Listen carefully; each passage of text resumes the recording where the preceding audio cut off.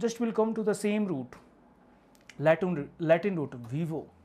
Convivial festive fond of feasting means full enjoyment. Some festive moment is there. Viviparous animals that give birth to the young one. Parous means young one. Biparous multiparous all will become in the sense of animals not in the sense of human being. Viviparous animals that give birth to the young one viable capable of living. Due to viable.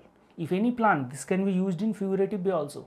Anything is viable means yes it can be possible.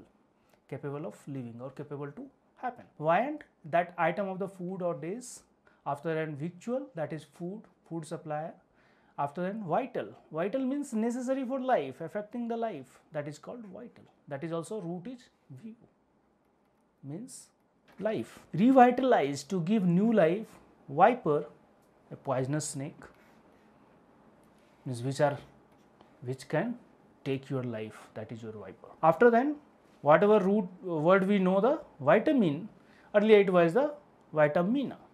Vital plus amine that is deviation for ammonia derivative of the ammonia or deviation of the ammonia.